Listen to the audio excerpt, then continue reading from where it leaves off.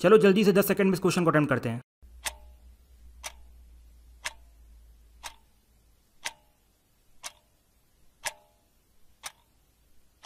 देखिए, यहाँ पर सेकंड स्टेटमेंट बोल रही है, मोहम्मद बिन तुगलक के रेन में ताइमूर ने इंडिया को इन्वेट किया था।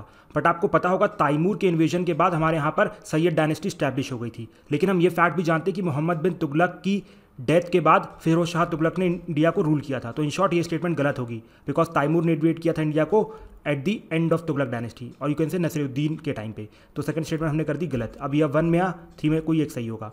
अब देखो, जो पहली स्टेटमेंट है ना, वो हर एक स्टैंडर्ड बुक में लिखी है कि इल्तुतमिश के रेन में जब ख्वारिजम प्रिंस इंडिया में एंटर हुए थे मदद के लिए तो हमारे चंगेज़ खान इंडस तक आ गए थे। बट उन्होंने मना कर दिया कि भैया हम आपको हेल्प नहीं करेंगे तो वापस चले गए थे।